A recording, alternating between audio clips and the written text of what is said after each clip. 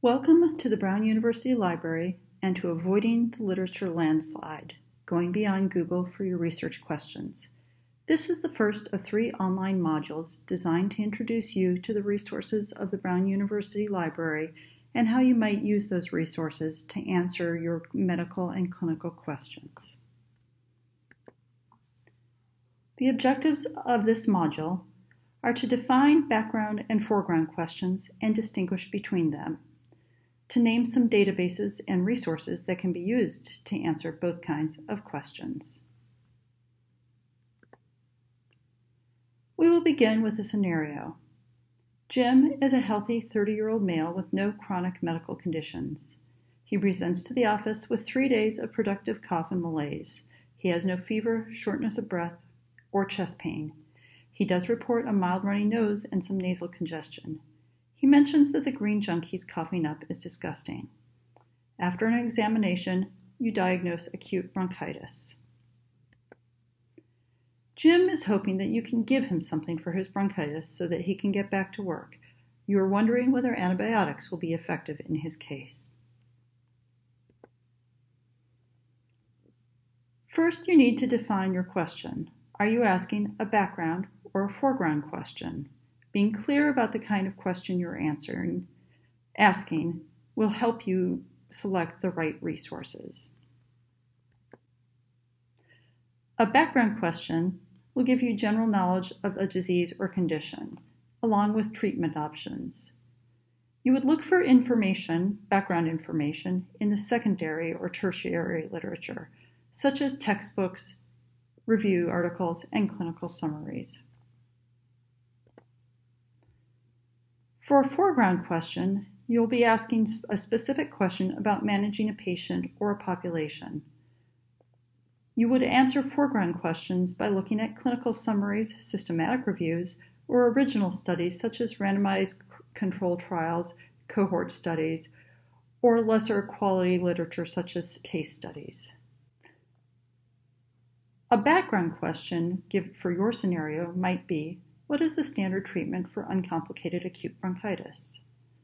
Some resources for this question might be Dynamed Plus, Up to Date, which is available via Lifespan's intranet, or clinical pharmacology if you're looking for drug uh, information uh, having to do with a disease or condition.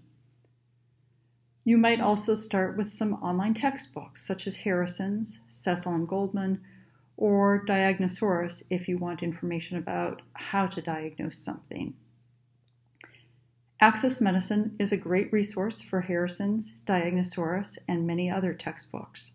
Clinical Key is another collection of textbooks with, with the addition of some other resources. It has about thousand, a thousand textbooks in it, and it includes Cecil's, Ferri's Clinical Advisor, the Netter Suite, and Robbins Pathology.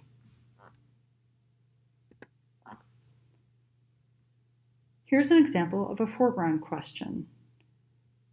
You break it down into the patient and or the problem, in this case adults or an adult with uncomplicated acute bronchitis, the intervention, amoxicillin or amoxiclav, and an outcome that you're looking for, the reducing length and severity of illness.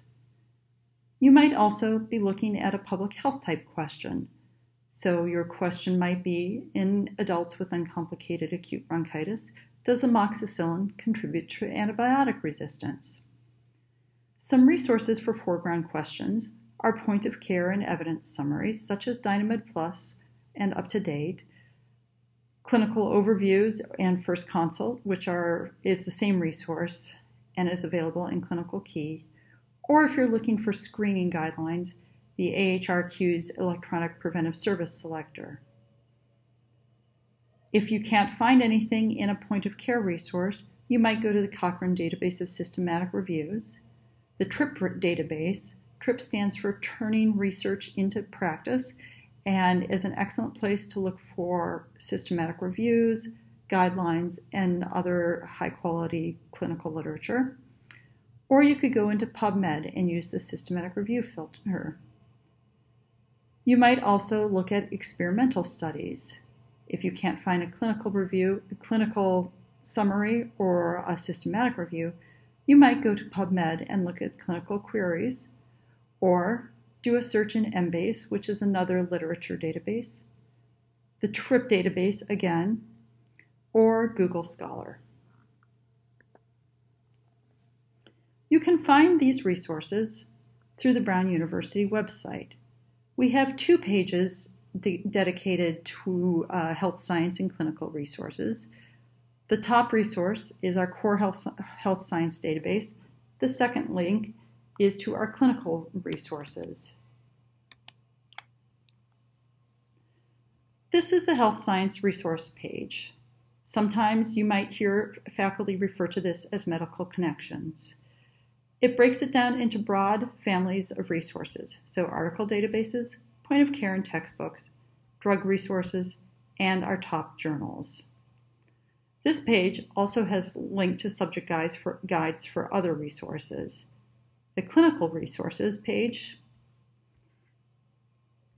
is the same basic set of resources, but it breaks it down a little bit differently, taking the perspective of somebody who is doing who is in clinic and might only have a few minutes to answer a question, might have five minutes to half an hour to sit down and do a quick search or might want to get into the weeds a little bit and do a database search for uh, individual studies and use PubMed or Web of Science.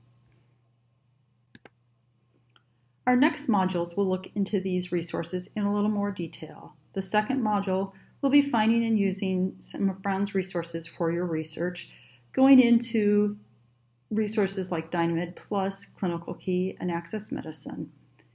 And the final module will go into article databases, getting full text of journal articles, and how to get articles when Brown does not have the full text. Thank you.